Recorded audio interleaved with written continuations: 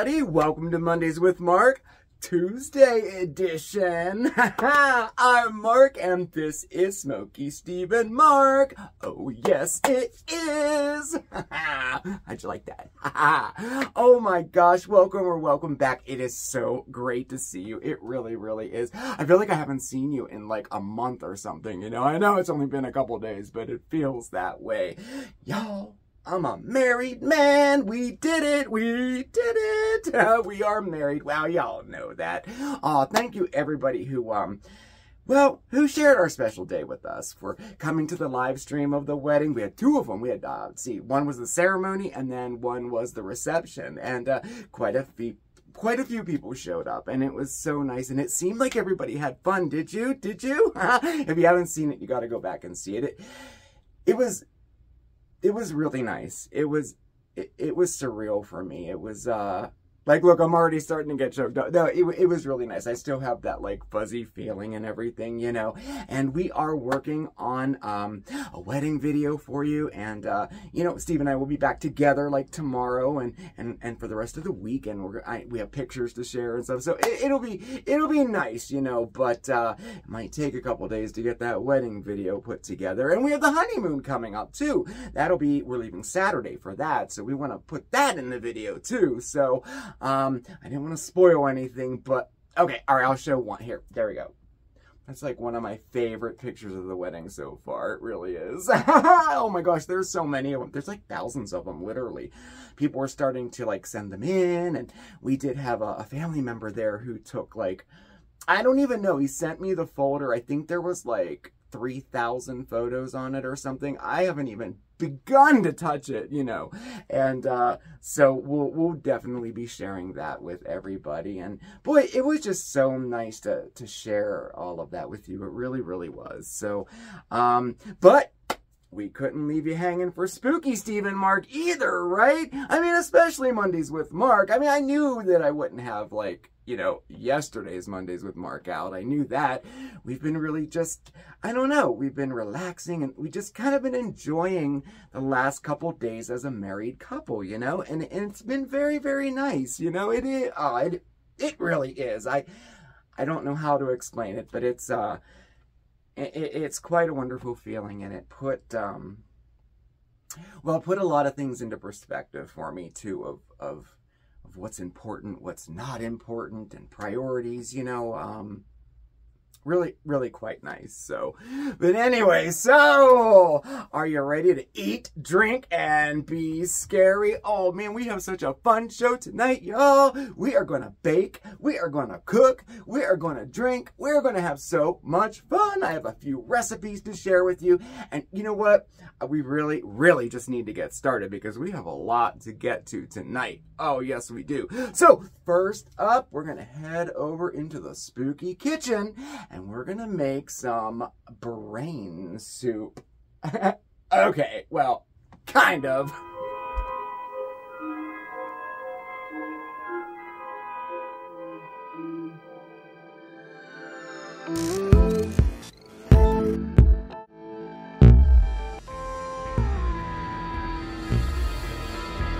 Brains, brains, brains, brains.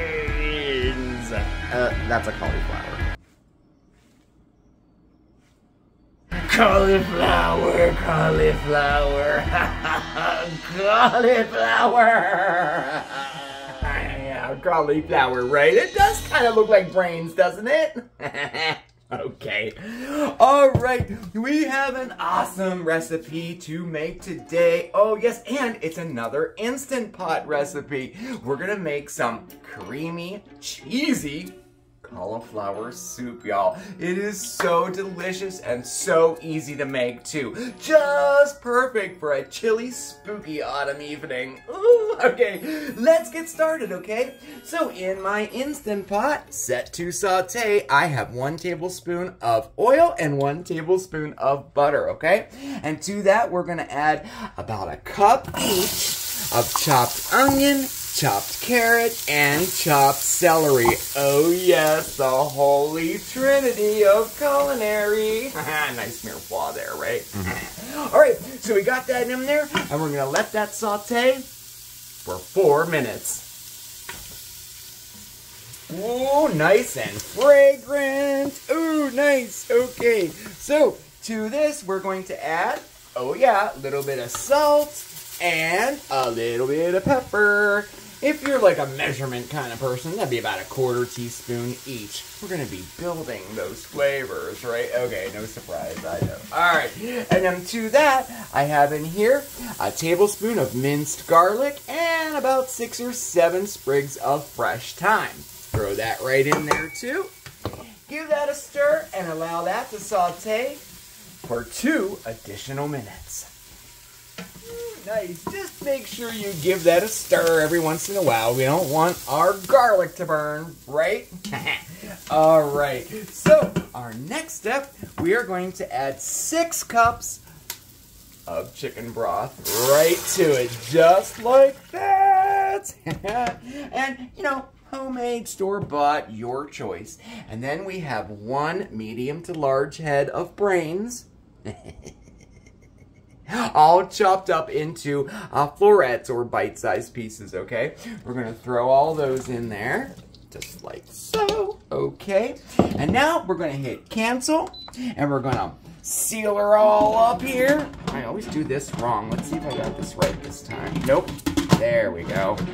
Come on, baby, come on. and then we are going to pressure cook on high for eight minutes.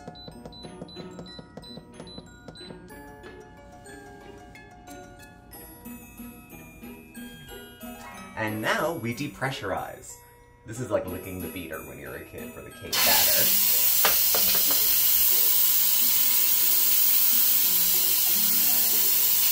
You love doing that, don't you? Oh my god, and the whole room fills with the smell that you didn't smell the whole time it was cooking.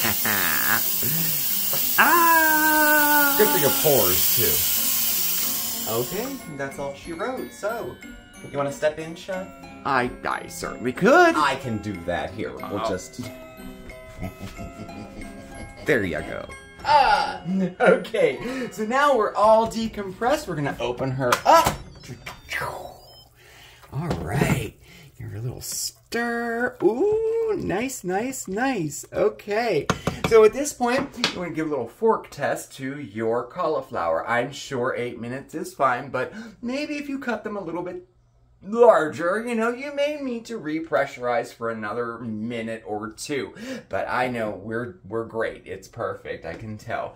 So, we're going to go right on to our next step. So, once again, we're going to season with a little bit of salt and a little bit of pepper, just like so. okay, and now we're going to hit cancel. Dun, dun, dun. And then we are going to put it back onto saute. And now we're going to add eight ounces of room temperature cream cheese. And uh, as you see, I cut it up in little blocks there just to help it melt a little, okay?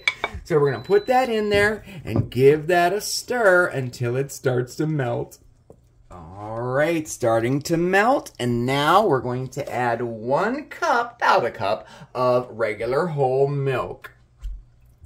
Bam, bam, bam. Okay, and uh, that probably was a little more than a cup, but it's fine, okay? And that'll bring that temperature down just a little bit, enough for our uh, cream cheese to melt even more, okay? And once you see that your cream cheese has started to melt a little bit, okay, and it has. Great. This is a perfect opportunity to fish out those thyme sprigs. Let's get them out. All right, just perfect. Okay. Oh, I think I missed one. Yep, there's a little one right there. Okay, so now, oh yes, we're gonna add eight ounces of shredded cheddar cheese. And I have a mixture here of shredded white and shredded yellow. Oh, this is gonna be so good. And it's all sharp cheddar, okay? So we're gonna add that all in, except we wanna save just a little bit for a garnish for the end, okay? Do, do, do. I think that'll be enough for a garnish. All right, and now we continue to stir slowly until all of our cream cheese and cheddar cheese is all melted. Yum. Okay, so when you see, we're on the saute function, and when you see your mixture start to boil, we're going to hit cancel and then put it on keep warm. And we're to continue stirring until there's no lumps left right? And a few little lumps there with our uh, cream cheese. Uh, so we're to keep stirring. And you also have a choice here. So you're to take a look at your soup right? And you're to say hmm would I like that more thick or not?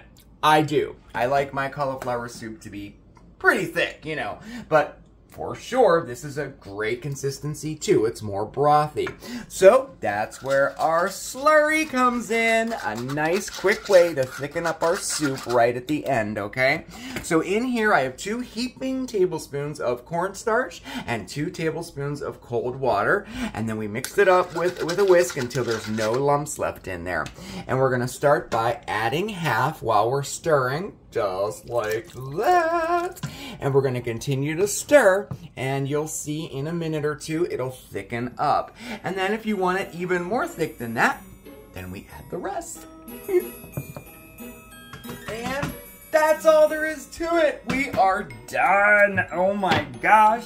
So now we just serve this up in a nice bowl. Oh, I can't wait to have this for dinner tonight. I've been wanting to have some cauliflower soup for yeah, a long time. It's been a while, yeah. I know, I'm glad I got around to making it. We've been making a lot of soups recently. Um, and uh, this is one that I definitely didn't want to get away from me. There's that, and then of course, we're gonna top with some additional shredded cheddar cheese. Oh my goodness, this looks so good.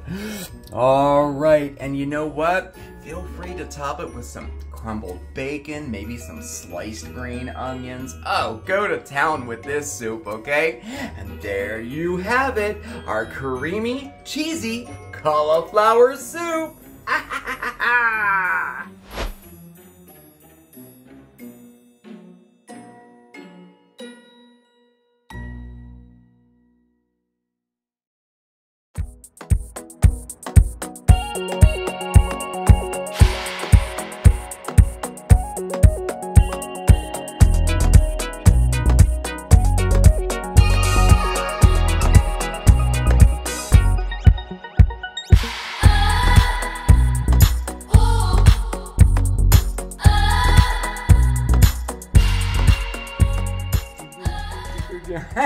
guys, hey, welcome to Bottles Up. Ah, yes. Oh, I just, I'm sorry, I love that intro. I love the music. I you like the shaker. All right. Anyway, so happy spooky season to you. Ah, we have an awesome cocktail to make today, just in time for Halloween, and two simple ingredients. I guess it's not really a cocktail as much as it is a wine spritzer.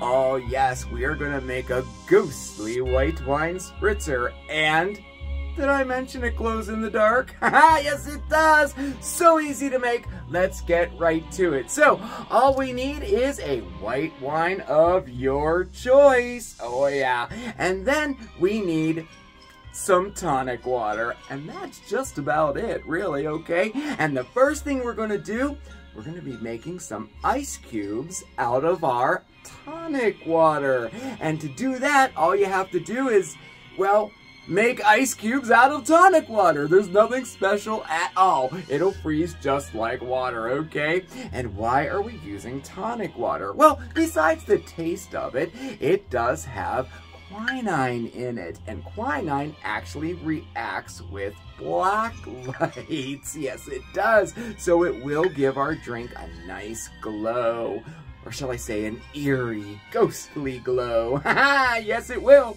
All right, it's as simple as this, y'all.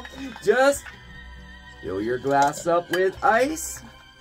I guess I need some, uh, some bar tongs, huh? Okay, it's on the list.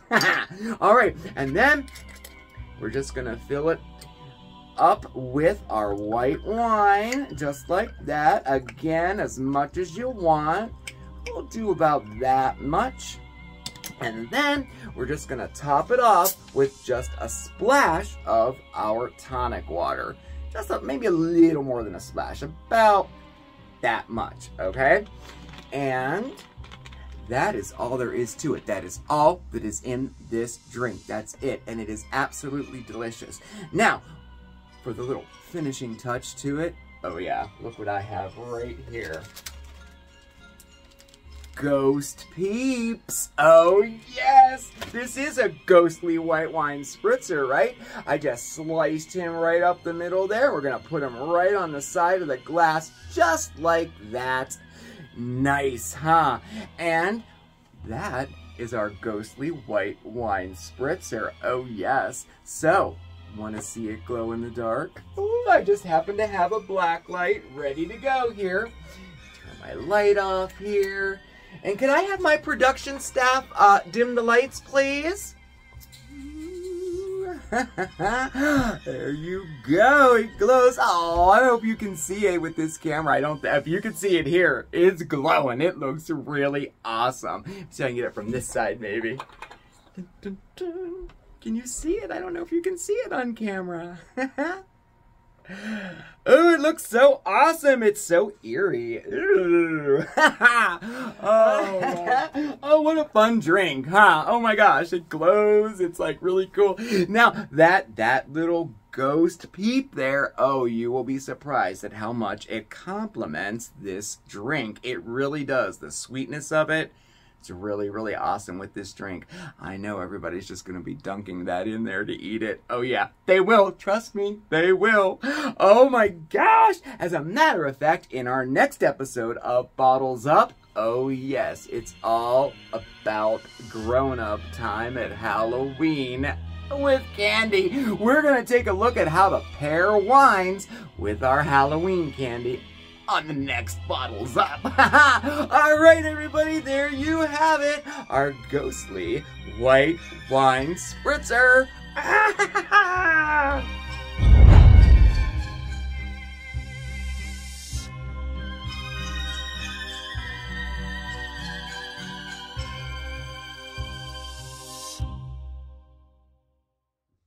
And here's my husband, y'all. Hello, everybody. you know him.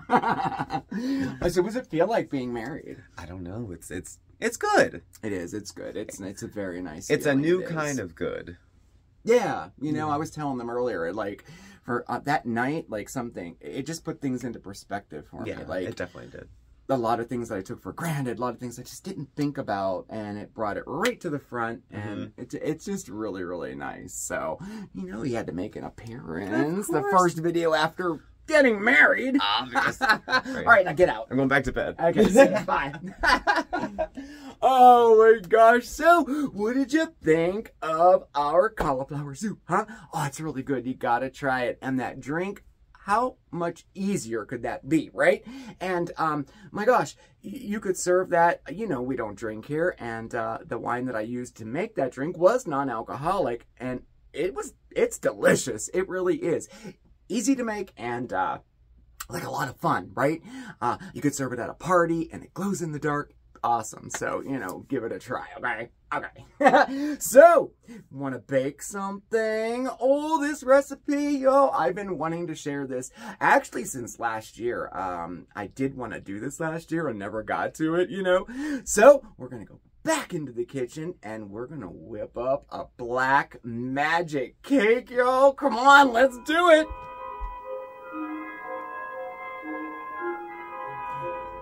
Okay, let's get started, y'all. I'm gonna share with you my recipe for my black magic cake, y'all. Oh my gosh, it is a chocolate lover's dream. It, it, or nightmare. I'm just kidding. And the greatest thing about this chocolate cake, one bowl. One bowl for real. And I'm pretty confident it will be your go-to chocolate cake recipe anytime you need a chocolate cake. But like I said, today we're making a black magic cake. Oh, wait till you taste it. So, you wanna get started?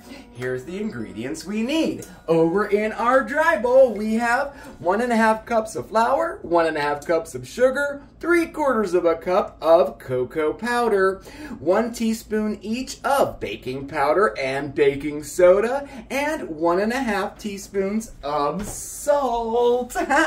now, I do have all of our wet ingredients in another bowl here, but I said this was a one bowl recipe, so you can just put all of the wet ingredients right into the dry ingredients, okay? So these are the wet ingredients. We have two eggs at room temperature, three quarters of a cup of buttermilk, also at room temperature, three quarters of a cup of strong black coffee, two teaspoons of vanilla, and then we have one third of a cup plus one tablespoon of vegetable oil or any cooking oil of your choice, okay?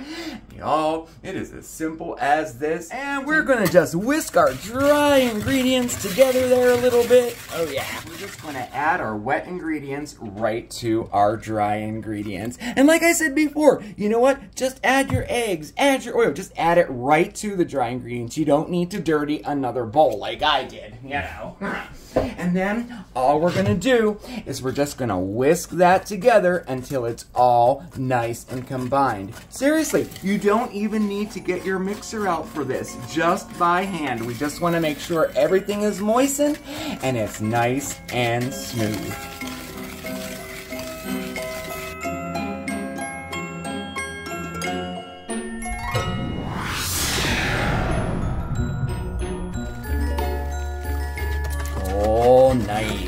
All right, we're all ready to go. Now, as you can see, this is a very runny batter, and that's what you want. That's perfectly fine for this, okay? Now, this recipe will make enough for two 8-inch rounds, or two 9-inch rounds, or a, or a 9 by 13. But today, we're gonna be making, I'm gonna be using these little 6-inch pans here for our black magic cake. Oh, yeah, and I'll have a little bit of batter left over, so maybe I'll make a couple cupcakes. I don't know, we'll see, all right? Sprayed them all nice with our cooking spray and we're gonna dust them with flour. All right, there we go. They're all ready to go. All right, so now we're just gonna scale our batter into our pans. I know, pretty self-explanatory here. And we're gonna go a little more than halfway full. All right, there we go. See, I have enough here probably for, oh, I don't know, maybe like six cupcakes. Ooh, okay. so, okay, our batter's in, and now we're gonna bake. So we're gonna bake these in a 350 degree oven for 25 to 30 minutes. Y'all know the drill. You just test it out. You know, you're just gonna like touch it, like if it bounces back, springs right back on you, you're good. See you when they're done. A few moments later. You know what I was thinking? While our cake is in the oven, this would be a perfect time to make our filling and our topping. Oh yeah, and they're both chocolate too, of course, right? so for our filling, we're gonna be making a whipped dark chocolate ganache. Oh yes, my favorite. And then for the topping, we're gonna make a milk chocolate ganache. Wonderful, right? All right, so to do that, in one bowl here, oh yes, I have an entire package of dark chocolate chips. And I went with Ghirardelli because I love their dark chocolate, right? Now, their bags are 10 ounces. So to that, I also added the equivalent 10 ounces of heavy cream, which is hot. Now, hot, we want it just before the boiling point, and you could do that in the microwave or on top of the stove, however you want so to do I it. I poured it in there, and I let it sit for, oh, just a minute or two to kind of warm up that chocolate, and then we're gonna take a whisk, and we're just gonna gently stir until it gets all nice and combined and shiny. This is kind of where the magic comes into our black magic cake. I always thought that making ganache was like magic because it looks like this. And then before you know it, ta-da! To looking like this. Magic, right? Magic. All right. So that's ready to go. This is our dark chocolate ganache. So the next step with this is we have to whip it. But in order to do that, we need to let it cool down a little bit. So just perfect because our cake is baking. We have a couple minutes. So we're just going to set this aside. Now, if you want to speed up that process, just pop it into the fridge at five minute intervals and give it a little stir in between between each time, okay? We're looking for no more colder than like room temperature, okay?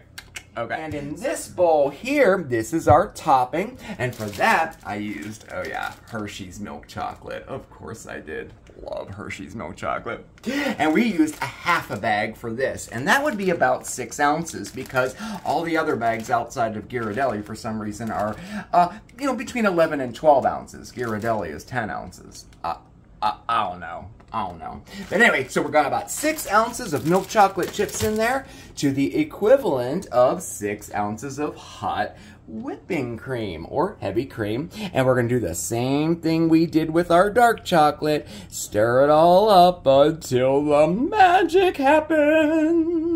Ta-da! magic, magic. I love it. all right, so this is our topping and we have our filling cooling. We're going to set both of those aside. Okay, um, I guess I'll see you once the cake comes out.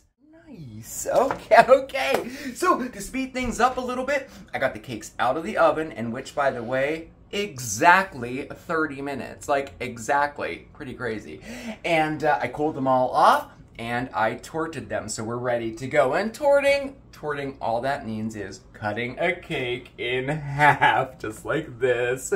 so we have layers. So we had two cakes, we cut them in half, so we have four layers. This is gonna be a four layer tall cake. It's gonna be so awesome. So we have one layer down on the bottom here, and we gotta fill it with our whipped chocolate ganache. I think we're room temperature. so what we're going to do is whip this up. Now I have my stand mixer out here. You can also use a, a, a hand mixer as well. And we're going to whip um, it until it's nice and fluffy. And well, here, let's just do it, okay? Mm, dun, dun, dun, magic again. there we go. That's what we are looking for. We are just gonna put our filling. In between each of our layers. And you can be as messy as you want with this stuff. Just love it because we're going to spread it a little bit on the sides too. Now we're just going to kind of smooth it around the outside. So now we're all covered there and you can see that, you know, you can see the layers, you can see the crumbs and all that. That's kind of what we want it to look like there. All right. So now what we're going to do, we're going to clean our plate all up and pop this baby into the fridge for 10 minutes and we're gonna get our ganache topping together, okay? All right, let's do this. Our milk chocolate ganache we had just setting out this whole time. It's about at room temperature. It's perfect for pouring, y'all. Oh yes, and that is what we're gonna do. We're gonna pour this all over the top of our cake. This is the fun part. Dun, dun, dun, and let that drip down and pool all over the bottom. Nice, nice, nice. okay, and you feel free to use as much or as little as you want. It's, it, you know, this is your cake, right? You could cover the whole thing. You could leave it drip down like that, give a little creepy effect, however you want to do it. Now, since this is a black magic cake, we have to add a little shimmer, right? Oh yeah, we have some luster dust here. Oh yeah. Most of your luster dust is, if you if you get these, have a little pump on them like this, so you can spray it, kind of, you know, like that. So we're just gonna kind of far away. We're just gonna kind of sides. Looks cool. And it just adds a little bit of shimmer and shine to the already shimmering and shining ganache, right? Looks cool, huh? All right, so this is Halloween, right? And we have to have some spooky aspect to this, right? How about some really cute bat toppers? Oh yes, we're just gonna stick these right in the center, y'all, just like that. I Have another one here. Here, we'll put him oh, cool. Oh, hmm. Would you like to know how I made these babies? It's so easy and so cool. Okay, so we have some creepy yet cute bat toppers to make for our cake. It's so easy. All you need, guys, is some black ribbon. So all I did was I cut some black ribbon, oh, say about four to six inches. Then I just made a knot in it. Oh yeah. And then I just made some rough cuts to either side of the ribbon. Mm-hmm. And then I just took a white paint pen and dotted the eyes and that's all there is to it. And then I just, I just, I just hot glued them right to the top of a piece of greenery from the Dollar Tree. It really adds something to it. And it's as easy as that. Pretty cool, huh? All right, let's see if we can do the ending here. I don't know. All right. There we go. and there you have it, our black magic cake.